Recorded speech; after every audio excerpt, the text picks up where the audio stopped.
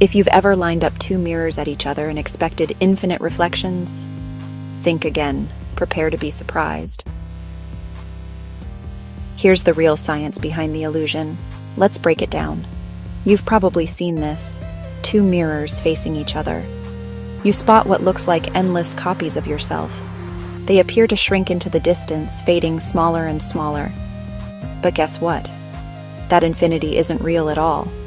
Each time light bounces between the mirrors, it keeps traveling, the reflection gets a little darker with every bounce. Why? Because mirrors aren't perfect. They lose a bit of energy. They absorb a tiny bit of light with every bounce. So with every reflection, a bit more energy disappears. After a few hundred bounces, the reflections are extremely dim. They basically vanish from sight and become invisible. Even with the best mirrors, you'll never get hundreds of visible reflections. You'll only see a few hundred at most before fading. Everything eventually fades to black in the series. So next time you're caught between two mirrors, remember? You're not staring into infinity, really. This is just a clever illusion with a hard limit. Science is cooler than infinity, right? Isn't it?